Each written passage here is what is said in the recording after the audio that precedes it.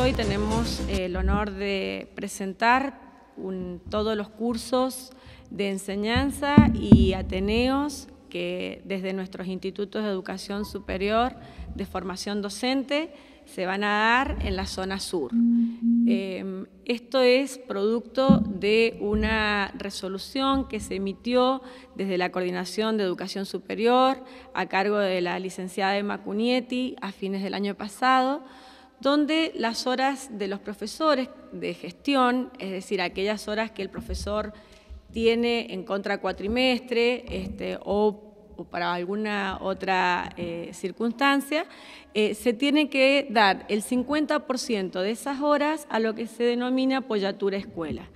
Dentro de lo que es apoyatura escuela se encuentran las capacitaciones y los ateneos. Eh, las capacitaciones en lo que se llaman cursos de enseñanzas que vienen del Infod y Ateneo, que es una modalidad donde tenés tres encuentros presenciales, luego el docente vuelve al aula y cuando vuelve al Ateneo se hace una reflexión, es decir, es la reflexión de la propia práctica.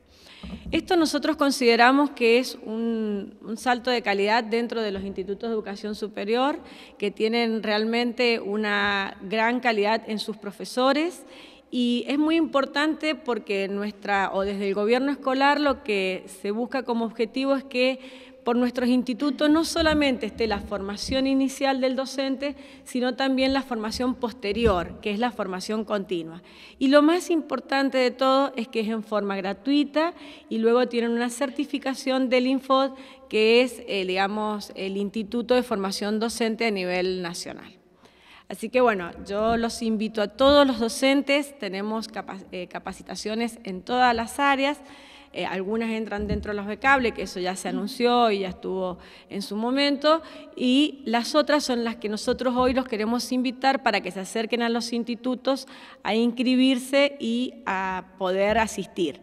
Algo muy positivo es que también hemos tratado de que los horarios de los cursados de estos cursos y ateneos sean en horarios que no afecten a los docentes, por ejemplo, los sábados. Si uno pasa por los institutos nuestros los días sábados,